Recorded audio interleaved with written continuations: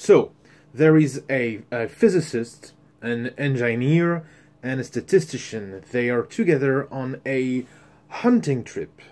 They uh, are hunting deer. So they are together walking into the woods, and uh, at some point they spot a deer.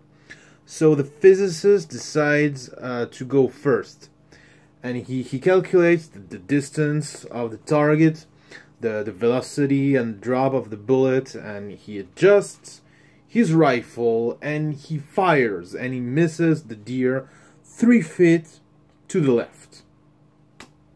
So uh, the engineer's like rolling his eyes, say, "You forgot to account for wind."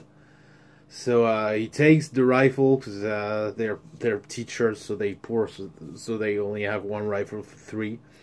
And uh, he snatches the rifle and he licks his finger and he estimates the speed and direction of the wind, and the uh, and he fires, and he misses the the deer three feet to the right.